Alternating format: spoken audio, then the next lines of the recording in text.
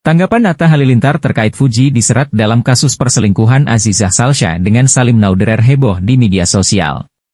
Seperti yang kita ketahui Fujianti Utami alias Fuji ikut terseret soal skandal perselingkuhan Azizah Salsha dengan Salim Nauderer, kekasih Rachel V-nya. Salah seorang netizen mengunggah isi pesan WhatsApp yang menyinggung soal masa lalu Fuji dengan Satria Ananta.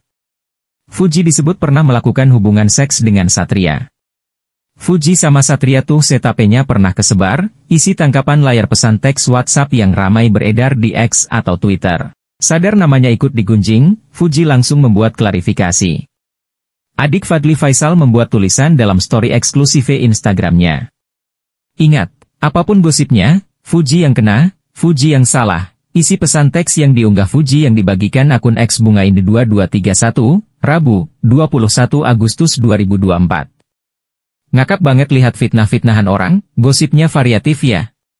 Kayaknya aku nggak ngapa-ngapain deh dan sudah kelewatan sih, tulis Fuji sebagai caption. Dalam foto lainnya yang dibagikan, tampak Fuji sempat berbalas pesan dengan salah seorang penggemarnya. Di situ sang selebgram diberitahu soal gosip tentangnya yang beredar, selain itu selebgram Fujianti Utami alias Fuji An turut bereaksi usai namanya terseret dalam isu perselingkuhan sahabatnya, Azizah Salsha. Baru-baru ini, Aziza Salsha diduga bermain api dengan mantan kekasih Rachel V-nya, Salim Nauderer.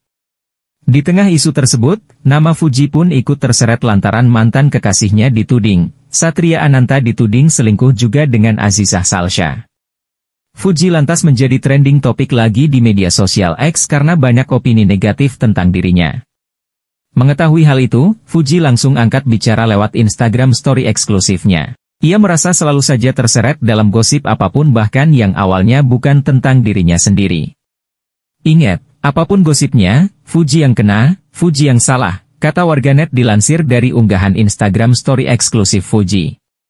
Alih-alih marah, putri bungsu Haji Faisal ini justru menertawakan fitnahan orang tersebut. Ngakak banget lihat fitnahan orang, gosipnya variatif ya keknya aku gak ngapa-ngapain deh dan udah kelewatan deh stop fitnah bro, tegas Fuji. Unggahan Fuji ini tak urung menuai beragam reaksi. Sebagian menyemangati Fuji agar kuat menghadapi isu miring. Fuji sendiri memang dikenal berteman dekat dengan Azizah Salsha dan Rachel V-nya.